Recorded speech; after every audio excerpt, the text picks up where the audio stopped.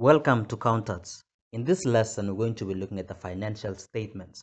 We're going to be looking at the relationship between the financial statements. We're going to focus on the income statement, otherwise known as the statement of comprehensive income, the balance sheet, otherwise known as the statement of financial position, and the statement of cash flows or the cash flow statement. We're going to be looking at them and I'll show you an example of how they look, the formats, as well as the relationship between all these financial statements. And it will help you thoroughly understand how the financial statements work and also help you in advancing how you prepare these financial statements and how they relate to one another when you're preparing them.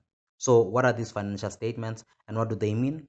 Well, the statement of comprehensive income, otherwise known as the income statement, is a statement that shows the change in the net assets or the equity of the entity. It shows you that. It shows the financial performance of the company over a specific period. And that is income earned and expenses incurred. So we know this when we look at the income statement. We see what the income is and what the expenses are. I highlighted in red here the financial performance of the company over a specific period. So you're looking at how the company performed or how the entity performed over a specific period of time. Usually in 12 months time, how it performed, okay, over a year's time. But you can do this even over a shorter period of time.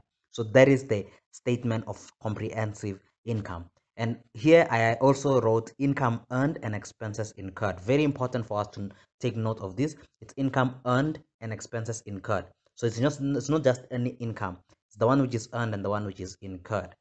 The second one is the statement of financial position or the balance sheet, which is a statement that shows an entity's financial position at a given point in time. And what I wrote there in brackets is it's a snapshot. It gives you a picture at a specific point in time what it looks like. And what do we see in the statement of financial position or the balance sheet? We see what the assets are, the equity, and the liabilities of the entity. Okay, so we are able to see that at a specific point in time. Now, you can see the differences between the income statement and the balance sheet. Okay, and you can see I've highlighted them in red. The income statement is the financial performance over a specific period, okay, over a period of time. The balance sheet or the statement of financial position is a snapshot, okay, the financial position at a given point in time. So usually when you see the statement of financial position for the year ended, let's say 28 February 2020, what you're seeing there is that what the assets the company has, what the equity the company has, and what the liabilities the company has at that specific point in time at the 28th of February 2020, like I gave the example. But when you look at the statement of comprehensive income for the same period at the as at the end of 28 February 2020, you are looking at 12 months preceding that period okay? So you're looking from the 1st of march 2019 to the 28th of february 2020 okay? And that is the difference between the two. The income statement gives you over a specific period of time. The statement of financial position gives you at that specific point in time what the assets equity and liabilities of the company are. So if there's something you remember between these two statements or between the income statement and the balance sheet you remember that the statement of comprehensive income shows you the financial performance over a specific period okay? But the balance sheet gives you a snapshot gives you the financial position of the entity at a specific period okay? At a specific period. It's not over a period of time but at a specific period. The last one we're looking at here is a statement of cash flows or the cash flow statement. This is a statement that shows an entity's movement in cash over a specific period in time okay? It shows you the movement in cash in the entity over a specific period of time. Now here, the statement of cash, cash flow strictly looks at the cash movement. It does not deal with other aspects of the statements, okay? It does not deal with what the income statement will have, non-cash items, for instance. It does not look at what the statement of financial position which would have, which is non-cash items as well, like the receivables, accounts receivables or debtors, okay? The amount that you are owed by the debtors or the people that you sold to on credit doesn't look at that. It looks at what is the cash? What cash did we have at the beginning and what cash do we have now at the end? What were the movement? What caused the cash that moved from the beginning to now what we have at the end okay? How did we come from what we have at the beginning and what we have at the end? So it's looking at the cash movement over a specific period of time so just like the income statement where it gives you the financial performance of the company over a specific period of time, the statement of cash flow shows you the movement of cash over a specific period of time. Now let's continue with this one here. Let's highlight it even further. the statement of financial position or the balance sheet and the statement of comprehensive income or the income statement are completed based on the accrual principle, which means that income and expenses from which profits are computed are recognized when they are earned and incurred respectively.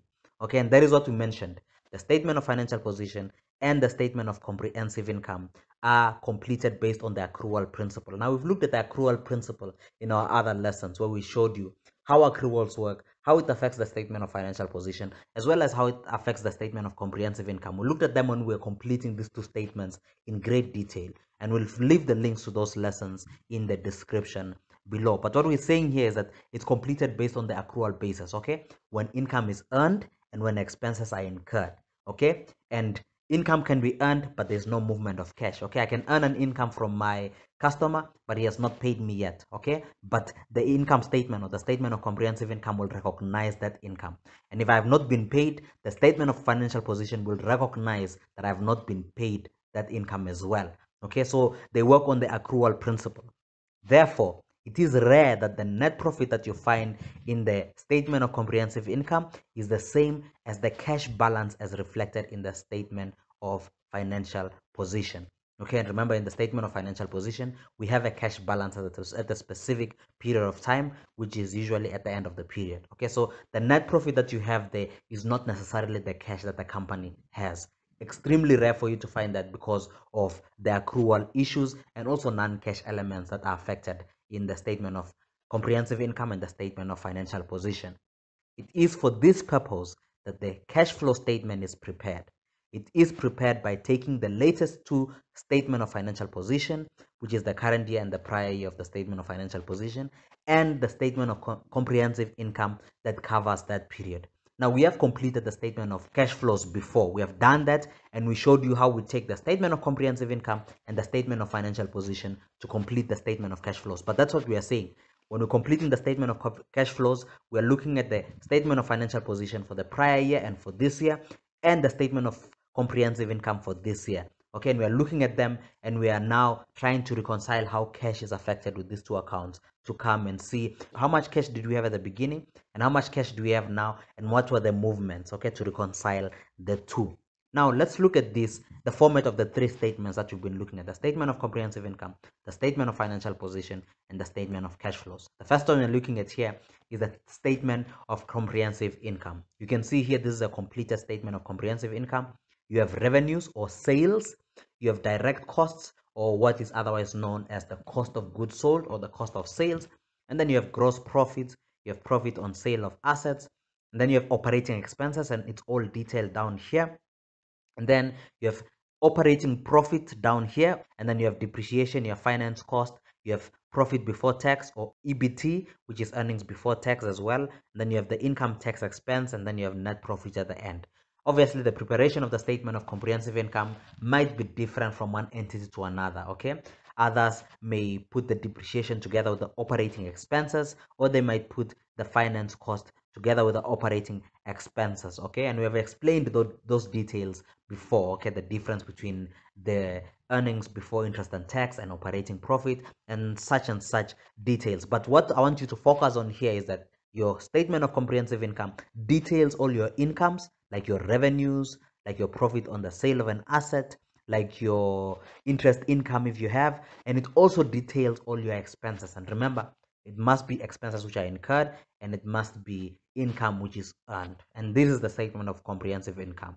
And another one here is the statement of financial position, which is pretty standard for most companies. Okay, most of them would look more similar than the statement of comprehensive income okay? Statement of financial position like we said it shows you what the assets of the company are okay? What the equity of the company are and then what the liabilities of the company are okay? It shows you at a specific point in time and you can see it's written statement of financial position for the year ended 28 february 2018 it's showing you the assets the equity and the liabilities of the company at this specific date 28 february 2018 so it's just a snapshot showing you what assets, what equity, and li what liabilities the company has. And the last one here is the statement of cash flows, which now details the movement from the profits that we have in the profits that are detailed in the statement of comprehensive income, and we take into account all the other non-cash items as well as the accruals and we take that into account and we're trying to see what is the actual movement in cash and strictly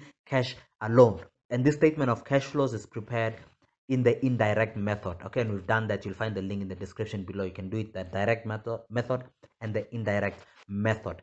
But here this one is indirect. You can see we're taking the profits of the company the net profit 2736 and we're making adjustments for non-cash items. And we know that depreciation is a non-cash item profit on sale of assets is a non-cash item and we're also taking into account other elements but one arrive at the cash.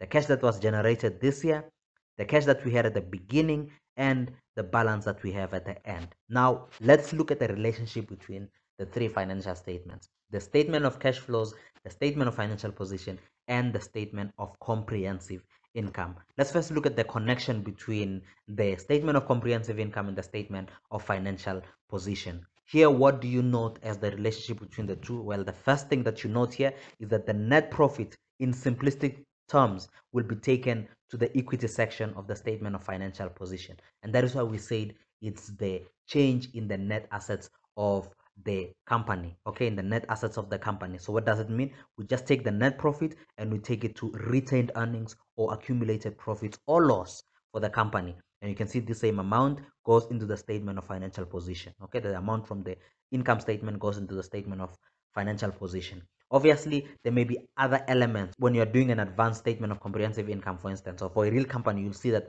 it doesn't end with net profit. They first pay like preference dividends and they will pay the ordinary dividends. And then whatever cash they decide to retain in the company, they take it to the equity section of the statement of financial position. So I'm just showing you the connection between the statement of comprehensive income and the statement of financial position. Another connection that we see here is the depreciation okay? You can see here we have depreciation in the statement of comprehensive income. And what do we do with that depreciation? We take it and it affects all your non-current assets. Okay your usual non-current assets. And i'm talking about land buildings motor vehicles furniture and fittings computers and other assets that you may have that needs to be depreciated that are usually depreciated. Obviously land is not usually depreciated. But what does this mean? It means that we take the depreciation for this specific period and they deduct they reduce our non-current assets like your buildings your motor vehicles and so forth okay? So this depreciation is added to the depreciation that we've had before for these specific items and it becomes accumulated depreciation okay? We're adding the depreciation. We're taking the depreciation for them from the income statement and taking it to the statement of financial position. There is the connection between the income statement and the balance sheet now here's a note any expense that appears on the statement of comprehensive income and not yet paid will appear on the statement of financial position. And that is why I mentioned the words income earned and expenses incurred. Okay. And I say here, if an expense that appears in the statement of comprehensive income has not been paid by you yet to whoever you owe, it will appear on the statement of financial position. Okay. It will appear on your liabilities. And the same thing happens with the income. If you have income that you have not been paid yet, okay? You have earned this income but you have not been paid it will also appear in the statement of financial position okay? In the assets section. So you can see it can appear in the statement of comprehensive income and it will also appear in the statement of financial position due to accrual basis that we mentioned. And we've done the lessons on that as well. Like i said you can find the lessons on those ones in the links in the description below. Now let's look at the connection between the statement of comprehensive income or the income statement and the cash flow statement.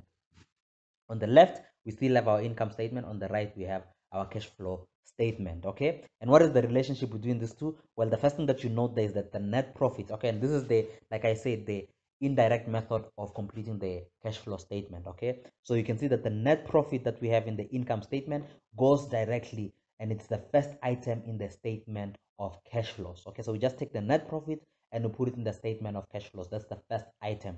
Now you can see the connection between the two. And another thing that you see here is the depreciation. Remember, depreciation is a non-cash item. So we take the depreciation from the income statement or the statement of comprehensive income, and it goes directly to the statement of cash flows. And we're adding it. We're putting it as a positive in the statement of cash flows while in the statement of comprehensive income or the income statement it's a negative. Okay and you will understand this if you go through the lessons where we completed the statement of cash flows and those are the relationships between the income statement and the statement of cash flows. Now let's look at the last one, the relationship between the statement of financial position or the balance sheet with the statement of cash flows or the cash flow statement. What is the relationship between these two? Well, let's look at the first one here. You can see that you have your current assets, okay? And you can see here changes in working capital. Like I, again, I will say this is the indirect method of completing the cash flow statement. You can see that your current assets, the items from your current assets goes directly and you can see the changes in working capital goes from inventory, which is found in the balance sheet, your receivables, which is also found in the balance sheet, and your payables, which is found in the balance sheet, but it's found here in the current liabilities section. Okay, so you can see the relationship between the two. You will take items from your statement of financial position or from your balance sheet and take it directly to your cash flow statement for you to determine what are the changes in working capital. Another relationship that you see here is that the cash that appears or the bank that appears, the bank balance that appears on the statement of financial position or the balance sheet comes directly from the final balance in your statement of cash flows. You can see here we have cash generated in during the year. You have the balance that you had at the beginning of the year. If you add the two together, it should give you the balance carried down or the balance at the end. And this balance goes all the way to the statement of financial position under the current assets section. It will either be called cash or it will be called bank. Okay, and that is the relationship between your statement of cash flows and the statement of financial position.